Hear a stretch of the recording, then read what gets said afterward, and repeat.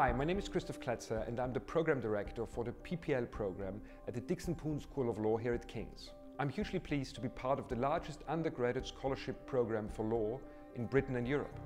We are awarding up to 75 scholarships of the value between 18,000 and over 27,000 pounds. The scholarships are for students who not only demonstrate academic excellence, but also leadership potential and life ambition.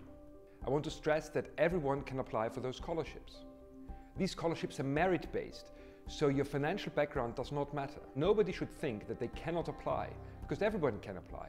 In fact, we want to encourage everybody who got an offer to apply for those scholarships. The application process is quite straightforward.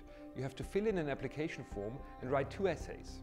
In my second vodcast, I'm going to give tips on how to fill in the application form and write the essays. Please remember that the deadline for application is the 29th of March, so please refer to the King's website for further information and to apply.